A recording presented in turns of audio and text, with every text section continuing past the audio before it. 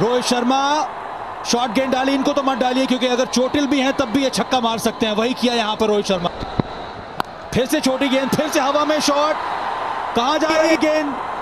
सीधा स्टैंड में। एक और बढ़िया शॉट भाई, ये तो पहले बल्लेबाजी करने ही आ जाते। ये बड़ा शॉट आया है। इसी वजह से रोहित शर्मा का स्ट्राइक पे रहना बहुत ज़रूरी है। और अब नहीं छोड़ेंगे। अब नहीं छोड़ेंगे रोहित शर्मा। भाई वाह। बाउंड्री मिलेगी यहाँ पे।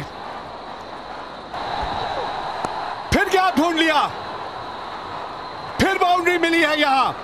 अब 12 रन और तीन गेंदे। और बड़ा हिट आ गया। सामने दे मारा है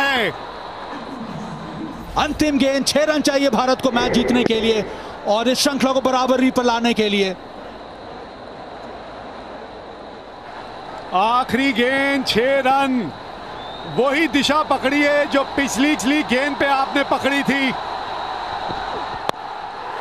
ओहो, तारीफ़ करनी होगी यहाँ मुस्तफिजुर की।